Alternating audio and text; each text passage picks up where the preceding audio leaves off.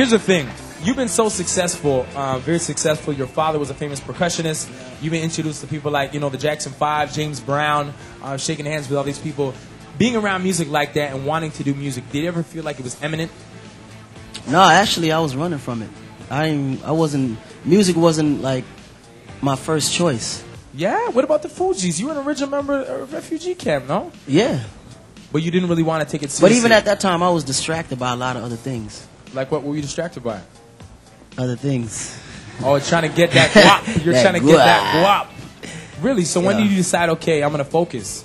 When I got locked up, that's when I was forced to be focused because I know, like coming out, there wasn't no um, programs, no future, no other avenues to really make it as a convicted felon. You know, there's no jobs available for you. You're really an outcast of society at that point. So I had to figure out something that can keep me, you know, creating the same lifestyle I was used to and still be able to positively make good money. It's interesting you say that because a lot of times, you know, I'm sure everyone has a friend who's been incarcerated or whatnot, and sometimes people do come out with a different outlook, but sometimes Oh, yeah. they- can't get a job and they're like, I gotta go back. They all come out with a good outlet. Everybody comes out not wanting to go back in. Okay. It just there's no there's no way not to go back in. You can't work. I mean, you can't vote. Even if you got money stashed away, you can't create no club or nothing. You can't get a liquor license. Yeah. it's like you can, it's nothing you can do. Yeah. So it's like you forced to find something to do because minimum wage can't pay. You know your rent and your insurance and your light bill and your your telephone watches. and your car and it's like it's impossible. How you gonna survive? You're gonna end up going right back to what got you in the first place just to survive.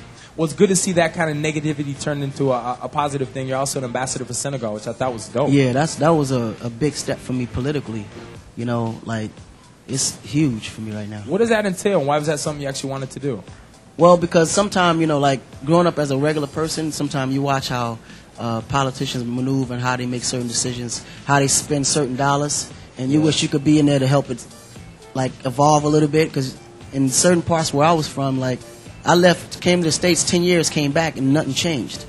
So I knew they wasn't doing nothing with that money. Okay. So with me, it was more so just trying to make sure the kids was good because the kids, at the end of the day, was the future of rebuilding Africa, all in general. Well, it's good to have people like you involved in that Yeah. cause. As well, before we take off here, we have an audience question from Lindsay over here. All right, what up, Lindsay? Hi, Akon. It's pop. Um, I was just wondering, with such a successful music career, how do you manage to balance your personal life and your uh, profession? Um, actually, it's easy because it's still it's really just one life. It's really no difference. Like, um, you know, if I get to a point where I miss her or she miss me, I'll fly her out. She just had to ride with me.